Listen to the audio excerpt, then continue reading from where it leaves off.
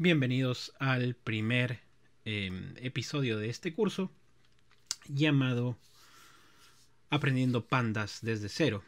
De hecho, ese es el nombre que le he puesto, eh, pero tal vez pueda cambiar en, conforme va pasando el tiempo. Eh, así que, bueno, primero, eh, muchas gracias a, a mis amigos de Data Science Research Perú por la invitación a hacer este curso y publicarlo en sus plataformas. Eh, también voy a subirlo a mi canal. Y bueno, si te, si te gusta, eh, déjame en los comentarios para seguir agregando contenido y seguir, eh, digamos, teniendo material para aprendizaje. Empezamos. ¿Qué es Pandas? así como ustedes pueden ver esta imagen de Real Python, Pandas básicamente nos sirve para manejar data. Data que la encontramos tabulada. Y en este curso vas a aprender a manejar esa data. Vas a aprender los comandos o digamos las funciones básicas y cómo trabajar con datos usando pandas.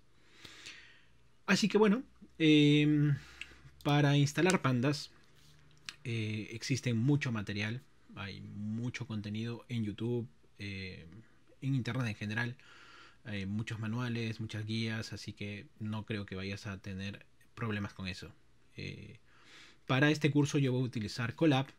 Colab es una herramienta de eh, Google que me permite trabajar con librerías Python rápidamente sin necesidad de instalarlo en el computador.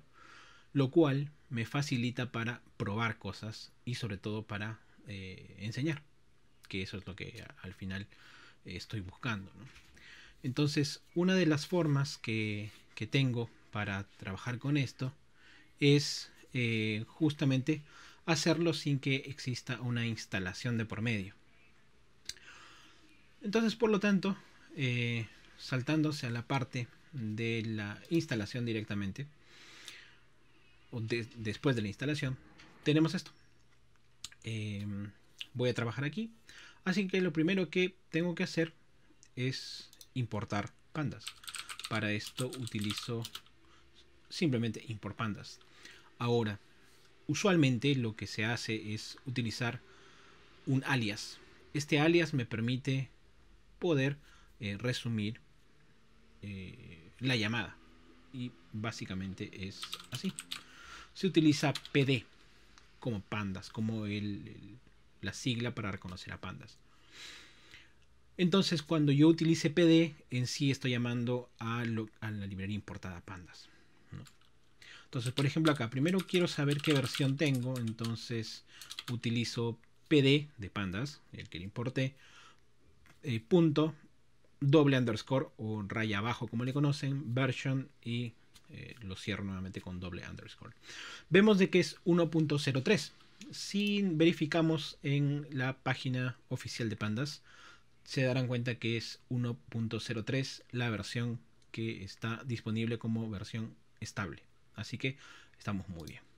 Perfecto. Entonces, ¿cómo funciona Pandas? Vamos a un ejemplo gráfico. He preparado esta pequeña hoja de cálculo en el cual vas a ver qué es, eh, o más o menos para explicar qué es Pandas.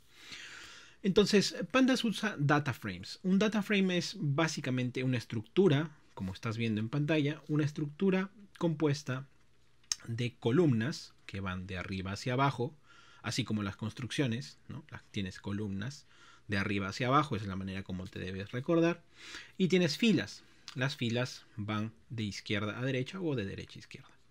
Entonces acá son columnas y estas son filas. Eso sería un data frame. Entonces, un data frame, por ejemplo, podría ser este. Este data frame dice eh, tres columnas, nombre, edad y sobrenombre y cuatro filas, las cuales en este caso son nombres de ejemplos. Así que vamos a pasar este contenido hacia pandas. Para ello, lo que vamos a hacer es utilizar lo siguiente. En primer lugar, eh, ya como lo he hecho en cursos anteriores, yo acostumbro a utilizar variables en inglés porque es una buena práctica el nombrar tus variables en inglés porque tú nunca sabes qué gente va a entrar en tu proyecto.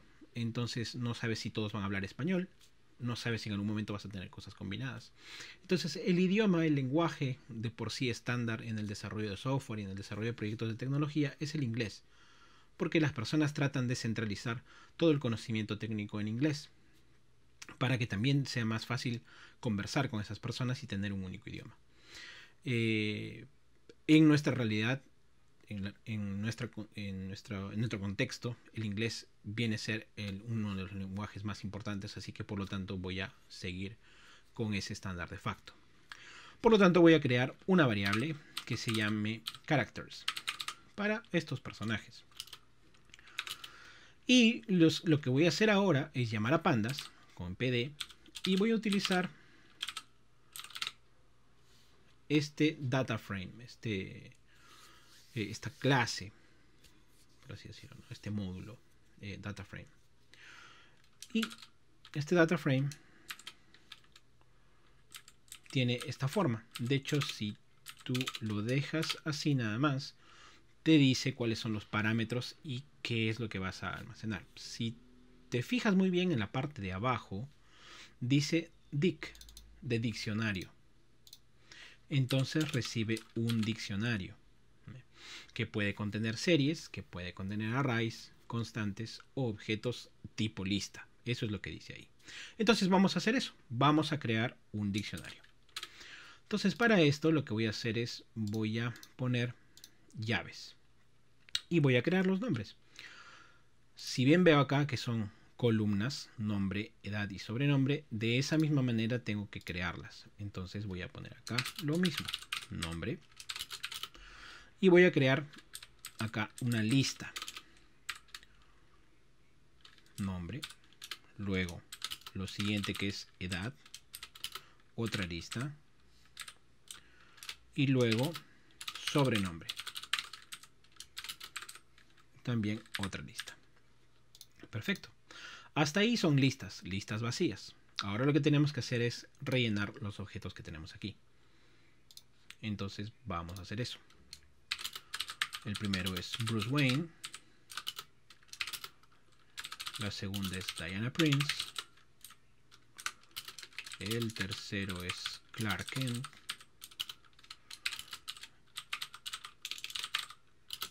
Y la cuarta es Barbara Gordon. Muy bien, ahora vamos con las edades. La edad es 33, 35, 35 y 30. Y por último, los sobrenombres. Batman, Wonder Woman, Superman y Batgirl. Perfecto. Ya tenemos entonces nuestro data frame de characters. Si ejecutamos esta línea y luego llamamos a characters, vamos a ver que tenemos el data frame de esta forma. Ahora, quiero que notes de que empieza en cero. Recuerda que empieza en cero, y esta es una manera bonita de recordarlo, es porque el sistema decimal empieza en cero. Se cuenta del cero hacia adelante.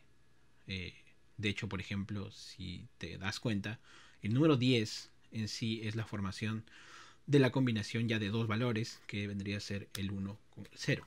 Entonces, y así sucesivamente. Entonces, esa es una de las cosas que al principio de repente puede ser un poco difícil, porque dices que siempre la numeración empieza en 1, pero no, en este caso empieza en 0, por esa y otras razones. Entonces, en este caso se respeta ese mismo inicio, 0. Veamos, entonces, em, ¿cómo es que yo consulto o cómo es que yo empiezo a trabajar con este data frame? Por ejemplo, si yo quiero saber la parte de nombre, está ahí. Puedo ver que son, eh, que es esa columna. Y me dice, ¿no? Son tipo, son objetos. Entonces, ¿cómo se le llama a esto? Esto se le llaman series.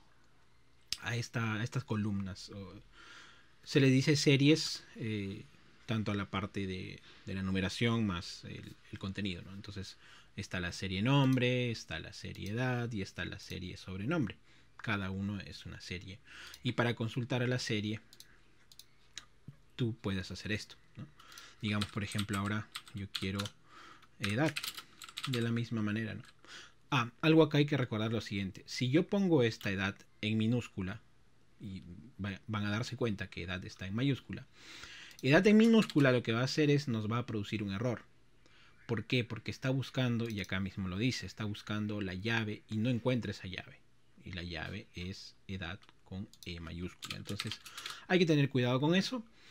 Es case sensitive. Muy bien, acá tengo la edad. Ahora, em, por ejemplo, a estas series yo también podría crear, crearlas eh, sin necesidad de hacerlo al principio, sino puede ser después. Por ejemplo, vamos a crear una de ciudades. Eh, voy a ponerle cities. Y es lo mismo, llamo a pandas, que es PD, y voy a llamar a series. ¿Qué cosa es? Eh, me dice que también recibe un array, eh, un array like, dice, ¿no? Un, tipo de objeto, un iterable, un diccionario, incluso puede ser un valor escalar. Entonces, en este caso, en esta serie, lo que voy a hacer es voy a agregar las ciudades. Vamos a hacer algo simple nada más. Vamos a agregarle una lista. Entonces, vamos a ponerle con eh, corchetes. Y luego lo que vamos a poner es vamos a utilizar nombre. Ahí me sale uno que dice name. Entonces ahí le ponemos nombre. Y esto se va a llamar ciudad. Entonces hacemos lo mismo. Vamos a poner los nombres de las ciudades. Gotham, New York, Metropolis y nuevamente Gotham. Y ahí tenemos. Esas son. Esa es la serie Cities. Y ahí está. Gotham, New York, Metropolis y Gotham. Ahora, si se dan cuenta, si yo llamo a characters, no voy a ver cities como parte de este, de este data frame. Y eso es porque simplemente puedo crear series independientemente de un data frame. Pero lo que puedo hacer acá es agregarlo. ¿Cómo podría hacer eso? Pues de esta manera. Le pongo characters, abro eh, llaves y le pongo ciudad. Y lo igualo a la serie que he creado hace un momento. Y ahora sí, si le pongo characters, voy a tener que es nombre, edad, sobrenombre y ciudad. Y ahora la serie forma parte de este data frame. ¿Qué puedo hacer con estas series? ¿O para qué me sirve? Y esto es eh, para que sepas más o menos de qué va a tratar este curso más adelante y cómo vamos a ir manejando este tipo de cosas. Este es un data frame muy simple, así que puede llegar a complicarse bastante. Pero hay que verle la utilidad. Y en este caso vamos a ver algo muy simple. Imaginemos que yo quisiera saber cuál es la edad máxima. Imaginemos que nosotros tenemos un data frame de 4 valores. Tenemos un data frame, no sé, de 4000 valores, por ejemplo. Entonces yo podría decirle, ¿sabes qué? De la serie edad, yo quiero saber cuál es el máximo. Y ahí me va a decir, el máximo es 35. Por ahí tal vez quiero saber el promedio. Entonces puedo usar min o incluso la moda.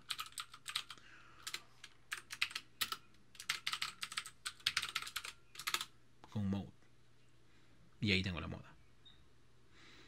En sí, yo podría hacer varias consultas. Así que para que puedan observar, usamos describe y esta nos va a dar un rápido, eh, un rápido resultado de qué es lo que tienen esas series. Tienes el conteo, el promedio, desviación estándar, máximo, mínimo. Y de aquí podemos sacar muchas cosas más. Así que bueno, ese es el primer capítulo de este, de este curso, Aprendiendo Pandas desde cero. Espero que te haya servido. Suscríbete, deja tus comentarios, activa las notificaciones y compártelo, dale like y todo lo que haces con los videos que te parecen interesantes. Gracias nuevamente a Data Science Research Perú y nos vemos en el siguiente episodio. Happy Coding!